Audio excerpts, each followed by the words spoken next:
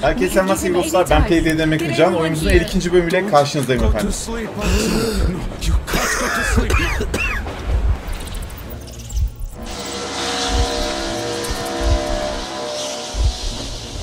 Artyom'la ilacı bulmaya gittik, bulduk, Miller'ı kaybettik.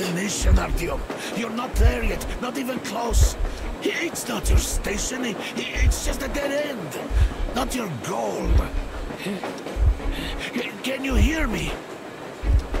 There's just not enough of us left. Not enough. Yeter değil diyor, bu kan yeter değil diyor.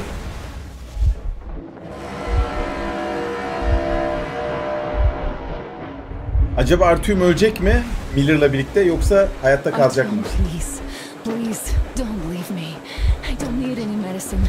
At this price. Ya Anna bırak canım Yes, ya. I Bunları çekme be Stop Anna. it. Don't say such things, Anna. Herkeste de aynı kan grubum var. Nedir? Herkes ak- akıtıyor kanını. That's true. That's it. He can't give anymore, can't you see? We're all out of blood.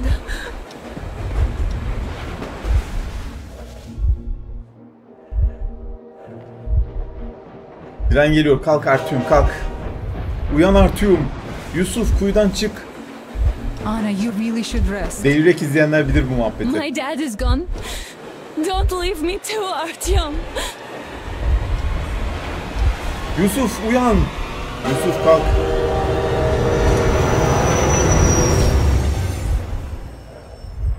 Öldük mü lan?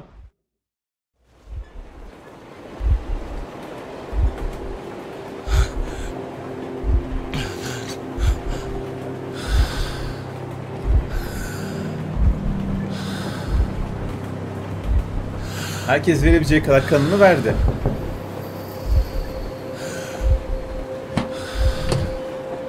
Bu kim lan? Do you recognize me? It's me, Eugene, from the exhibition. And to think I've been waiting here. Some best friend you are. Kim lan? Deli doktor muydu bu?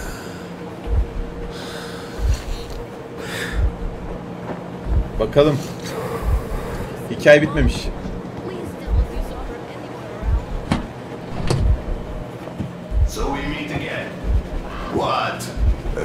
Forgotten your friend Burman? See how it went? You didn't stay there for too long. But that's just the way the world works, right? You struggle and fight and still get fucked. ah, well. I say you should take a walk around. I'll stay right here if you need me. We have a lot of time, my friend. More than enough to talk about. Bu adam kim lan hatırlamadım ben.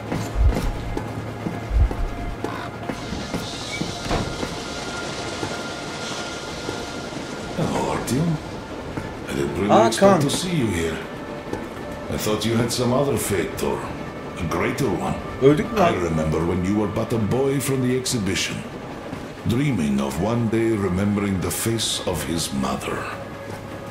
Was that why you opened the airlock at the botanical gardens? Look at you now. I'll be returning to the metro soon. But you, the sun never rises here, Artyom. You can't stop this train. Can't ever get off it. There are not stations in this world. He who Hayır, has enough courage hayır, yaşamak patience istiyorum. to stare into the darkness for his entire life shall be the first Lan to see the lan? flash of light. Remember that? Why Kaan diye, diye beni kandırıyor. Tarık Mengüç bildiğin. not enough patience? So what if there are no stations here? Who'd want to stop anyway? Come on, you hunk of iron.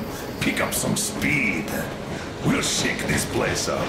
Make all the dead look alive. Well, it is time for me to leave. And you, tell everyone I said I. I'll give your regards to whoever I see back home. Forget him. Come, I'm making you chief mate. We're in for a long voyage, an eternal one. I'm going to need some help. So what are you waiting for? huh? An apology? Not likely to happen, Artyom. Everyone does what he must. A soldier's duty is to shoot the enemy, not ask questions. You did what you could.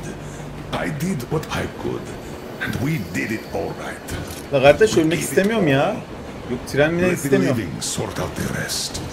Hey, what's that? This is weird. The first time I saw anything like that here. Uh, look, how about we try to stop this thing, huh? Give me a hand. Come on! Oh, oh. Well, Artyom, go take a look. You can leave the ship for now.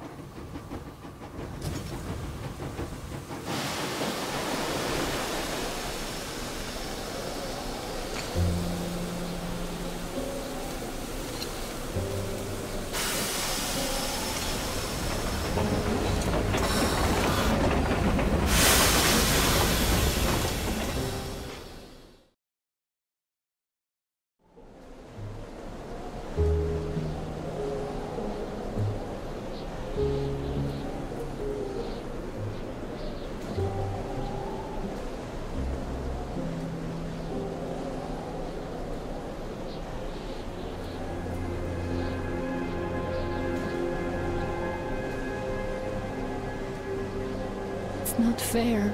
We found a place to be happy, and now you leave? Aa öldük. We couldn't have the life we dreamed of. But you went and gave up everything for me. I hate you for that. Niye öldük lan I biz? hate to see you go. I hate to stay here alone. But I will. Because I love you. I love you so much. Goodbye, Artyom.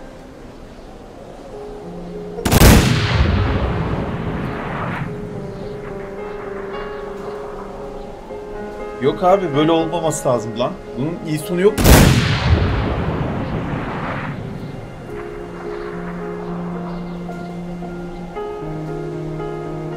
Hayır hayır ben bunu kabul etmiyorum. Bir dakika ya.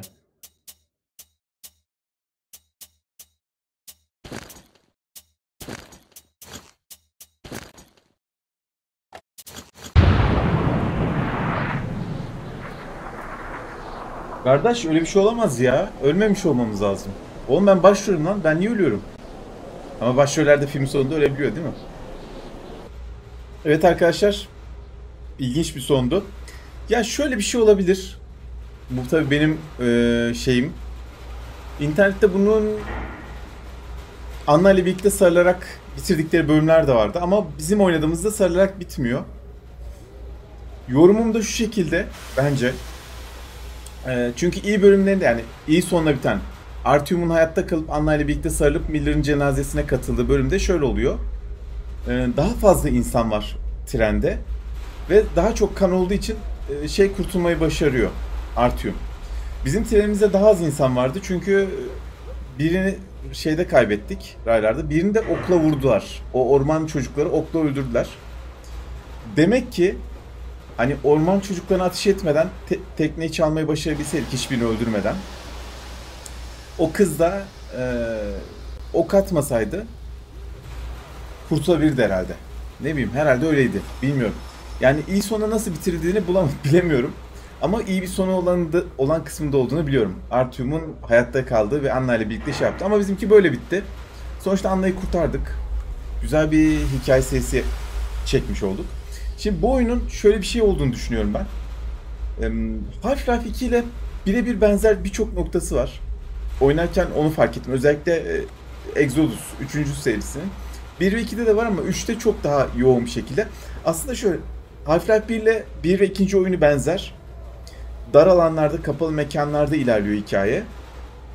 Ve işte zaman zaman biriyle karşılaşıyoruz ve o kişilere yardımcı olmaya çalışıyoruz. Bu oyunda şey 1 ve 2'de de öyle metroda. Half-Life 1'de de öyle. Mesela orada profesörlerle karşılaşıyoruz. Barney ile karşılaşıyoruz ara polislerle. Yani daha doğrusu güvenlik görevlileriyle ve kurtarmaya çalışıyoruz.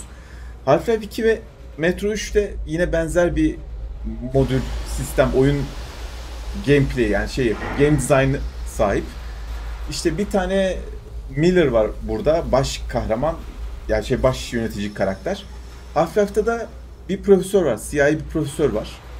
Bir profesörün kızı olan Alex bize yardımcı oluyor. Bu oyunda da Anna bize yardımcı oluyor ve karımız. Ee, sonra çeşitli mesela Barney var orada. Çeşitli zamanlar sana yardım ediyor. Ya da robot köpek var Dog. O yardım ediyor. Burada da trendeki diğer takım arkadaşlarının görev sırasında sana yardımcı oluyor. Ee, orada da yaratıklarla ve insanlarla savaşıyorsun. İnsanlar işte ana kuledeki kötü karakterin, profesörün ya da doktorun neyse işte onun e, uzaylarla birlikte kombin askerleri. Burada da işte şeylerle e, korsanlarla, haydutlarla falan kapışman gerekiyor. E, ve mesela bir bölüme giriyorsunuz Half-Life'da işte çöldesiniz mesela. Çöl toprağın altından çıkan yaratıklar onlarla kapışıyorsunuz. Bunda da benzer bir durum var. İşte bir bölgeye gidiyorsunuz, işte çöl yaratıklarıyla kapışıyorsunuz. Bir bölgeye gidiyorsunuz, suyun içinden bir şeyler çıkıyor, onlarla kapışıyorsunuz. Half-Life'deki o episodik parça parça atlaya atlaya ilerlediğiniz, sürekli yeni maceralar ve yeni bölgelere girdiğiniz şeyler burada da var. Mesela Half-Life'da işte tünellere giriyorsunuz arabanızda. Oradan kaçmaya çalışıyorsunuz, çeşitli yaratıklarla savaşıyorsunuz. Burada da işte tünel benzeri yerlere giriyorsunuz. İşte o baraj kısmında falan vardı.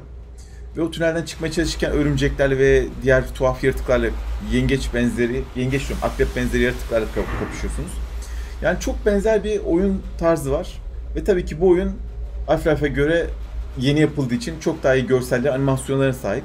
Half-Life'a hayran olan ve seven gördüğünüz gibi her yerde Half-Life logolarıyla falan takılan bir adamım. Çok severim. Metro'yu da bu nedenle diye düşünüyorum. Aşırı sevmiş durumdayım. DLC'lerine şimdi bakacağım. DLC'leri varsa DLC'leri serisiyle devam etmeyi düşünüyorum. Onun dışında yeni oyunlarla, yeni hikayelerle devam edeceğiz. Ee, şöyle bir şey daha var. Bununla oyunla ilgili söyleyeceğim. Mesela RDR'ye oldukça severek oynadım fakat son 10-15 bölüm sıkmaya başlamıştı. Aynı şey Death Stranding için de geçerli. Aynı şey Days Gone için de geçerli. Ya oyunlar belli bir noktadan sonra sıkmaya başlıyor ama mesela ben Metro 1, 2, 3'ü arka arkaya deneyimlemiş biri olarak Metro 2 ile 3 arasında biraz zaman vardı ama sonuç olarak oyun serisi olarak arka arkaya deneyimlemiş biri olarak oldukça keyif aldım. Ve sıkılmadan oynadım. Çok güzel bir deneyimdi.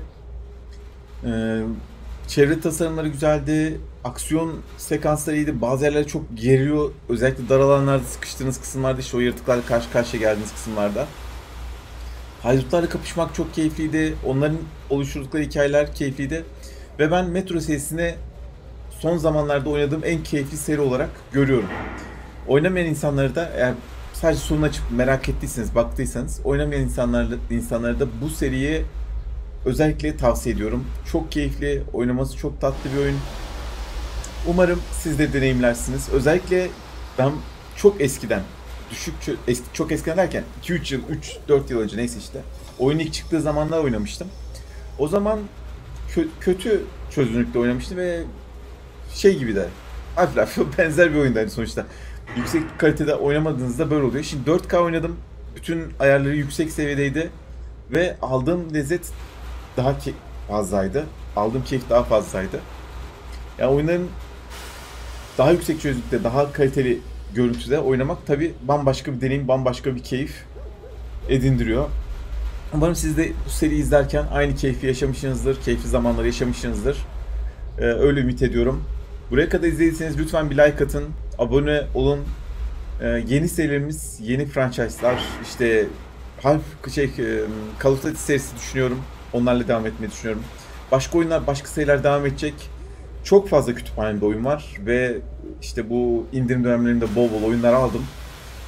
Tabii kur güncellemeleri bilmem ne falan muhabbetleri olduğu için böyle doldurdum. Doldurmuştum. Ve sonuç olarak sürekli size yeni oyunlar, yeni serilerle devam edeceğim. Umarım izlemeye devam edersiniz.